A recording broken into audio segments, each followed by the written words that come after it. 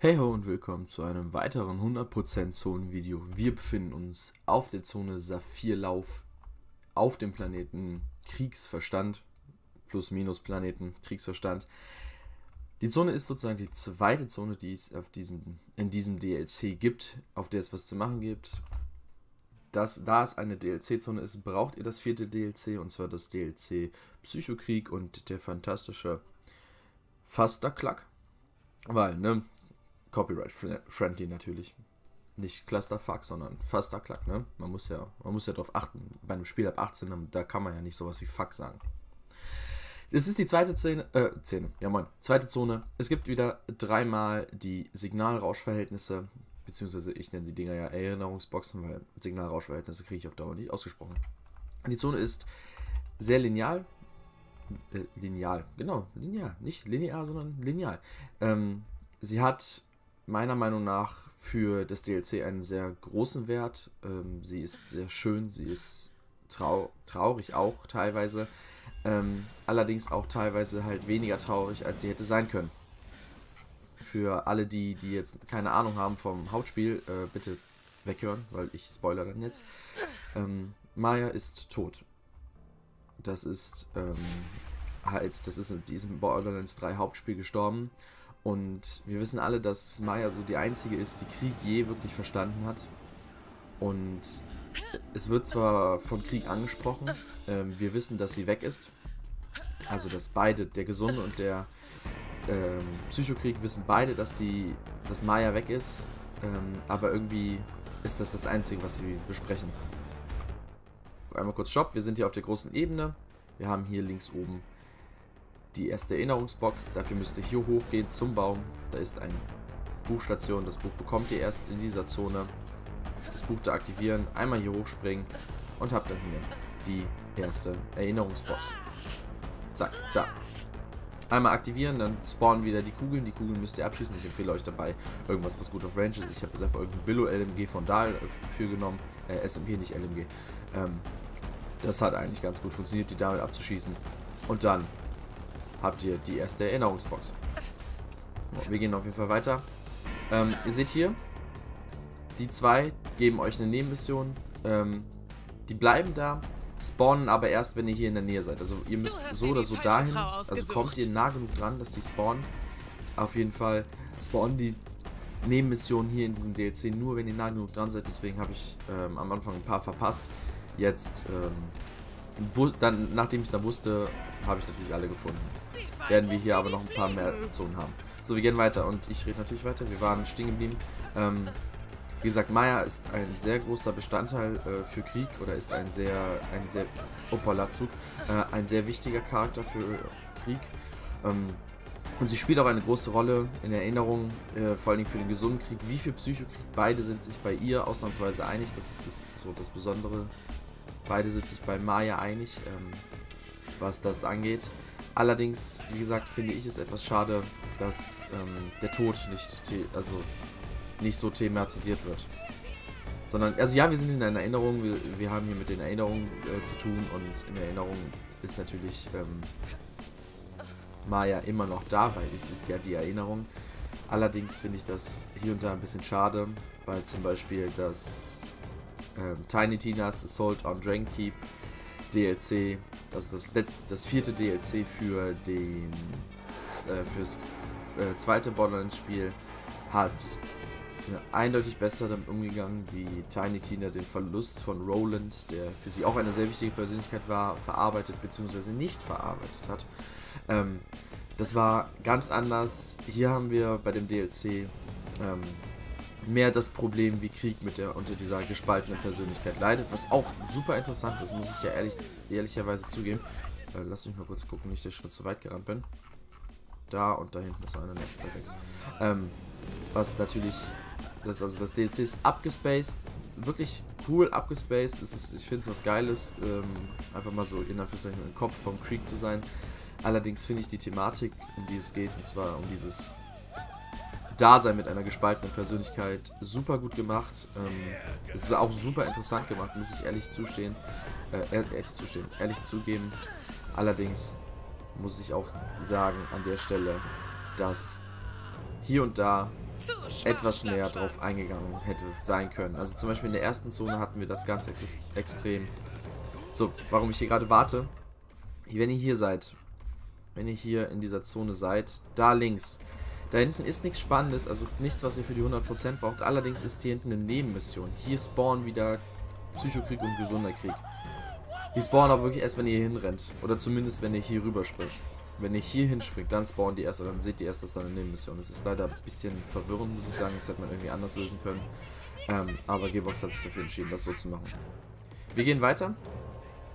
Und, also wie gesagt, ich hätte mir teils gewünscht, also auf der einen Seite finde ich es übelst geil, wie mit der Thematik umgegangen wird, dass der gespaltene Persönlichkeiten hat. Ähm, und die Geschichte, wie das dazu gekommen ist, ist auch super dick. Äh, super dick. Ja, man. Super interessant, muss ich sagen.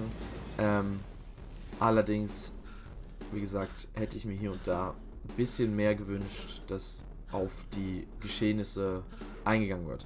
Also in der ersten Zone hatten wir es ja, also die, die die schon gespielt haben, wissen das, hatten das mit dem, ähm, hey, wir haben Mordecai und ähm, Dingsbums, weißt du, Mordecai, Brick und Lilith sehen, sehen Krieg nur als Psycho und das denkt halt Psychokrieg äh, und dann zeigt der gesunde Krieg ihm danach, dass es gar nicht so gewesen ist. So, wir haben hier, wenn ihr hier durch dieses Portal am der Zugbrücke gesprungen seid, kommt ihr hier rein und das sieht sehr nach äh, Athenas aus. Ähm, Soll es ja wahrscheinlich auch, weil es ja Mayas, Mayas sozusagen, Mayas Heimat.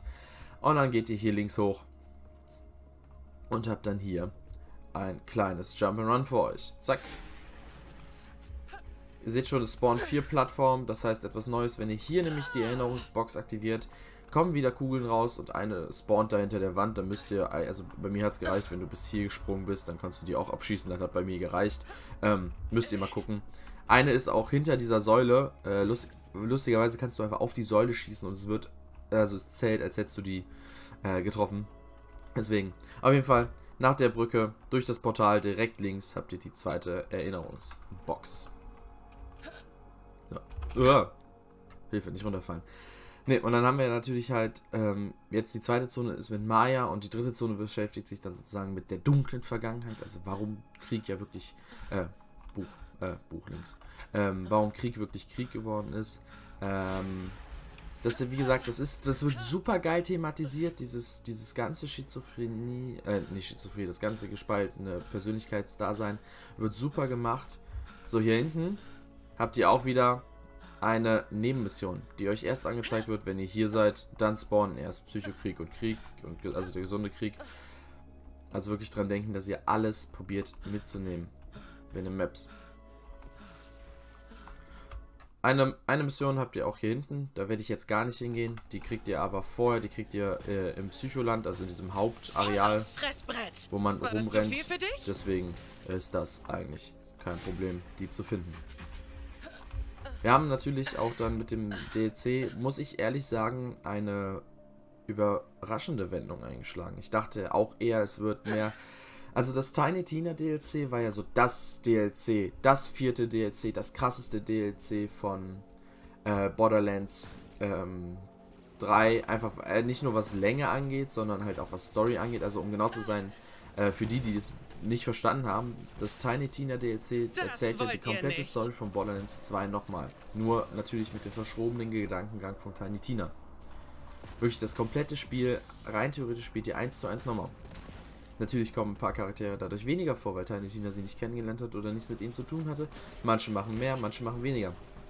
Roland eine super wichtige. Ich kämpfe jetzt gar nicht, ich renne hier jetzt einfach durch das Portal. Äh, im, Im Hauptspiel müsst ihr hier einmal kämpfen, bevor ihr weitergehen könnt. Ähm, Wirklich, das ist dann natürlich, dann hast du... Kommt jetzt hier eigentlich nicht... Ah ne, eigentlich kommt hier so ein Erinnerungsriss-Ding. So, guck mal, wir sehen direkt hier... Ähm, erstmal Emote hier, moin. Erstmal Fingergang. Da ist eine rote Kiste, ist aber für die Herausforderung scheißegal. Brauchen wir nicht. Fertig. Reicht. Ne, auf jeden Fall. Das DLC, das vierte DLC, dieses Krieg-DLC, ich muss sagen, es ist super. Es hat mich aber ehrlich gesagt wirklich ein bisschen off-guard erwischt. Also so vom Trailer und so dachte ich halt, es wird so ein, so ein crazy abgefucktes DLC, was es ja auch geworden ist. Ich meine, guckt euch mal um. Hallo Zug. Ähm, guckt euch mal um. Aber es ist, es dealt auch mit einer Thematik, die an vielen Stellen gar nicht mehr so einfach ist. Und das muss ich auch ehrlich sagen. Ähm, also wirklich dieses, diese, dieser Aufhänger, dieser gespaltene Persönlichkeit von Krieg und wie er damit umgeht, wie er damit nicht umgeht, eventuell halt auch, ist schon was anderes. So, hier, das ist eine Nebenmission, da müsst ihr kurz da unten hin, da ist nichts Spannendes. Wir wollen aber hier, kurz bevor ihr sozusagen das Ende erreicht, also ihr seid durch ein neues Portal gesprungen, seid dann hier angekommen, hier ist ein Showdown-Platz, da könnt ihr von mir aus fighten, da kann man relativ gut farmen, da kommen viele Gegner. Und hier wollen wir dann nach links weggehen, zu diesen Zahnrädern. Natürlich vorher das Buch aktivieren, weil sonst fallt ihr runter. So, wenn ihr diese Erinnerungsbox aktiviert, fliegen zwischen jedes Rad ein Ding. Das heißt, ihr müsst wirklich, also, da ist eine Kugel, da ist eine Kugel, Hoppala, fast runtergefallen, da ist eine Kugel und hier ist eine Kugel. Eigentlich fände es cool, wenn hier, hier hinter noch eine Kugel gewesen wäre, so nach dem Motto, jetzt musst du gezielt schießen, so und warten, bis das Ding da ähm, halt, ne, rumfährt. Aber man kann nicht immer alles haben. Aber man merkt schon, die Dinger werden um einiges schwieriger als in der ersten Zone. Also ich habe das gemerkt. Ähm, sie sind um einiges komplizierter und sch schwerer als die aus der ersten Zone. Und die in der nächsten Zone werden noch schwieriger. Das war es aber allerdings schon. Wir haben damit erst die Zone, Zone, die Zone, die Zone, scheiße Mann, die Zone schon auf 100% ähm, bekommen. Und das heißt, es gibt hier nichts mehr zu tun. Das Ende ist nur noch ein Bossfight gegen den Lokomöbius, also gegen den Zug, was ganz cool ist, Alter. Als Endgegner einen Zug zu haben, ist schon ziemlich lachkick. Ähm, braucht ihr aber nicht. Wir gehen nochmal alles im Schnelldurchlauf durch. Und das heißt, wir haben hier, wenn man von der Zone startet, haben wir hier einmal im ersten großen Kampfgebiet, haben wir hier oben, na, gehen wir ein bisschen näher ran noch, haben wir hier oben die erste Erinnerungsbox. Hör mal auf so zu leuchten, gehst mir auf die Nerven, danke. Äh, haben wir hier die erste Erinnerungsbox. Dafür müsst ihr hier hoch, hier das Buch reinlegen und dann da drauf springen, Kugeln abschießen und das war's. Dann geht's weiter. Ja, jetzt ist das hier so langsam. Hier springt ihr in das Portal, kommt dann hier raus. Wenn ihr da rausgekommen seid, einfach... Kann, kann ich dich auch wieder wegnehmen? Na, ist ein Bug. Super. Kann den Wegpunkt nicht wegmachen. Egal. Wenn ihr hier rauskommt, direkt einmal links gehen, dann könnt ihr das Ding hier, die zweite Erinnerungsbox, eigentlich gar nicht verfehlen. Das ist also wirklich so gut wie unmöglich. Danach kommt ihr wieder mit durch ein Portal, kommt dann allerdings hier raus. Ah, jetzt kann ich mich wieder entfernen. Cool. Kommt dann allerdings hier raus, dann durch erste große Kampfareal, dann hier durch und sozusagen nach diesem Brückenübergang einmal scharf links, dann kommt ihr zur dritten Erinnerungsbox. Damit solltet ihr die Zone standardgemäß auf 100% haben. Wenn ihr die Zone danach nicht auf 100% habt, liegt das entweder an einem Synchronisationsfehler oder ihr habt eventuell äh, einen Ort noch nicht entdeckt, um Orte und die Schnellreisestation zu entdecken. Grundsätzlich macht die Hauptmission, macht die Nebenmission, dann habt ihr eigentlich immer alles abgedeckt und müsst euch keine Sorgen darüber machen, ob es noch was zu entdecken gibt oder nicht. Das soll es dann auch schon gewesen sein. Diesmal ein bisschen kürzer als das letzte Video, eindeutig natürlich, weil ich auch ein bisschen weniger zu reden habe, weil ich das meiste schon im ersten Video gesehen habe. Wir sehen uns morgen danach wieder. Wir sehen uns morgen danach, nein, wir sehen uns morgen dann wieder. Ähm, wenn es heißt, wir, wenn es, was ist denn das für eine Zone? Wenn es die letzte Zone ist, ist es auf jeden Fall die letzte. Hallo, ach nee, ich muss auf Schnellreise gehen, damit das funktioniert. Ich, es ist die letzte Zone, die was hat, und zwar Segen des Schmerzes. Ähm, ja. Die wird dann morgen kommen.